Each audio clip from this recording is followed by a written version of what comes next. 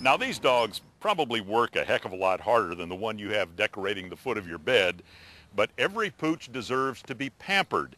And that brings us to Jason Shoultz, who found a place in Wisconsin where going gourmet means going to the dogs. We use only free-range meats. We use only all-natural beef. Um, our beef actually comes from a natural beef supplier out west. The chicken is cage-free chicken. The uh, bison is all uh, grass-fed. Marie Moody knows her ingredients well. And uh, the vegetables are all organic. We try to buy locally as much as possible. She's not describing the menu at a posh restaurant. Marie's business is making meals fit for Fido, or in this case, her dogs Stella and Chewy. Come here, good boy. Come here, good boy. Hi. Marie's the founder and president of Stella and Chewy's Pet Food Company. Headquartered near Milwaukee, Wisconsin, Stella and Chewy's has become the popular pick for pampered pets. The company has only been up and running for a couple of years, but it's already selling its products across the United States. All natural beef, we have chicken, um, lamb. We have a new flavor actually, duck duck goose. Using meats, fruits, and vegetables, it's not just the natural label that attracts many pet lovers. Stella and Chewy's pet food is sold raw. Marie's partner, Doug Siegal, showed me around the production line. We have chicken, we have chicken livers, chicken gizzard, chicken hearts, and some organic fruits and vegetables. It's 95% meat and organ meat and 5% organic fruits and vegetables. This is the first step in just making it smaller, and it's going to go up the conveyor and into the grinder. Into the grinder. From the grinder, it starts to look like hamburger, right? Exactly. Let's go check out the grinder over Okay. here. And now it looks like just regular ground meat. Yeah, I was gonna say this looks like hamburger coming It is- out of here. Well, it's chicken burger right now. chicken, chicken burger. That's right. So And it's coming out. So this is ready to be put into the. It's gonna make it into patties, I guess. That's right. This is going to be now put in the patty maker. They look like hamburger patties to me. They are hamburger patties. They're hamburgers for dogs. And with these large patties, this is the final stage in their forming. So we form them into eight ounce patties.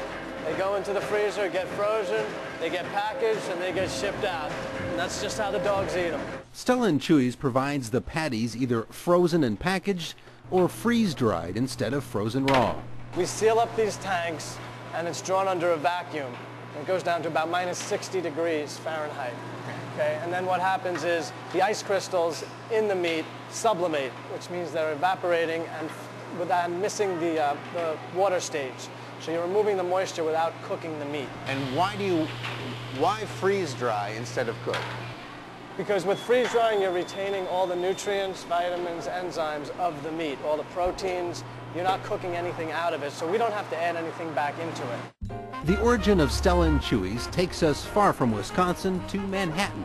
Marie was working in the fashion industry when she rescued Chewy from the animal shelter. Well, I think I was so frustrated that I couldn't find anything that I would feed my dogs in the marketplace that I decided that it was a good idea for a business because there were so many people that I knew of personally, like myself, that love their dogs and would feed them the best pet food possible if it existed.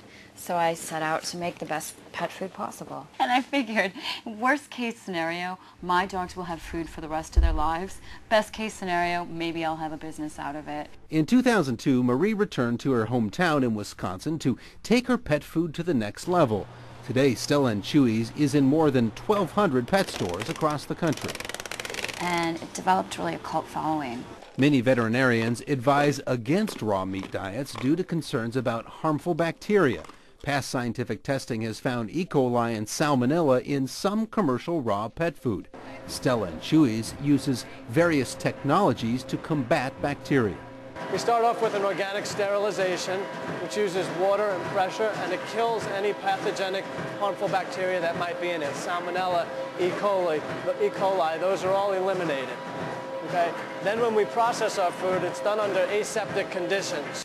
Each batch of Stella and Chewy's pet food gets tested for salmonella and E. coli. In fact, they put the batch number on the back of every package so customers can actually check those test results online by going to the Stella and Chewy's website, enter the batch number, and see the results. We do it because it's better for the pets. Um, we do it because it's better for the customer as well. Nobody should bring salmonella and E. coli into their kitchen. These are all white meat chicken breast. All white meat chicken breast, like you'd find in a grocery store. That's right. That's right. Actually, it's all cage-free chicken, and we take the chicken breast and we dice it, freeze dry it, and that's all it is. Cage-free chicken breast. That's Uh-huh. uh, that's a that's a premium chicken product It is actually. This is very expensive. And Yeah. very expensive to make. Uh, so you probably charge a premium for a container like that, don't We you? We do. A container like this retails for about ten dollars. Ten dollars. Uh-huh, wow. And you're uh-huh. finding that folks will pay that. Oh, people will pay it because it's pure and their dogs love it. Of course, the namesakes for the company are also the official market researchers. All right, Stella and Chewy. Come on, guys. Come on. And judging by Stella's reaction, it's doggone good.